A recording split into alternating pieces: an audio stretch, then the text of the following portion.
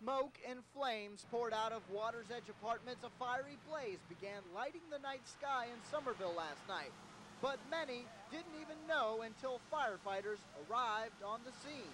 I was up there watching TV and I just heard all the sirens and uh, I looked out my back window and seen them over there. We walked over here and we started hearing stories of a little girl and her mother trapped inside, and then it turned out it was just the little girl. Next thing I know, we were sitting here about an hour later. They finally found her.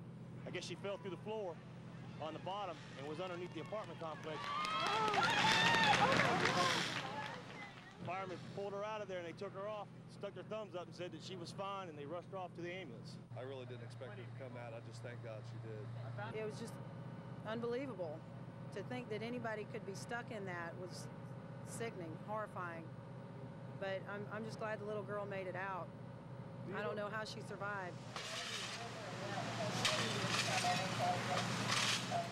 Summerville, North Charleston, Ashley River, and Old Fort Fire Departments fought the blaze for nearly nine hours. Eight homes were completely burned, and one little girl has a new lease on life.